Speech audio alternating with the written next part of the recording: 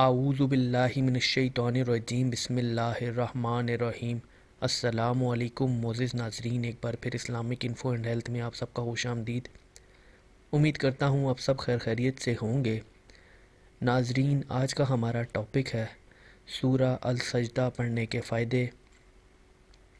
جس طرح اللہ تعالیٰ نے قرآن پاک میں ہر بیماری اور ہر قسم کی مشکلات کا حل رکھا ہے، اسی طرح اس صورت کو پڑھنے کے بھی اپنے ہی مخصوص قسم کے فوائد ہیں جو کہ ہم اس ویڈیو میں بیان کریں گے۔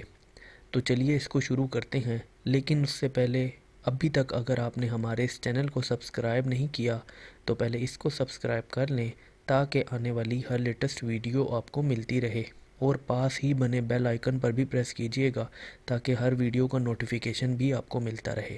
اگر کوئی شخص بیمار ہو، کسی طرح صحت بحال نہ ہوتی ہو تو باوضو سات بار سورہ سجدہ کو پڑھے یا کوئی اور پڑھ کر بیمار پر دم کر دے، انشاءاللہ تعالی بیمار صحت یاب ہوگا۔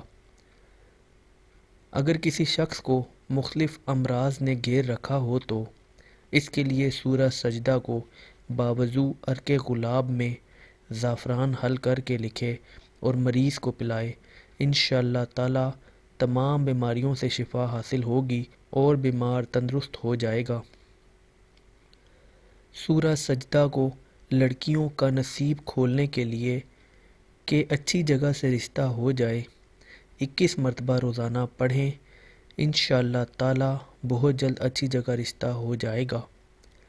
ایسا مریض جس کو مرگی کے دورے پڑتے ہوں، اس کے گلے میں سورہ سجدہ کا نقش بنا کر ڈالیں۔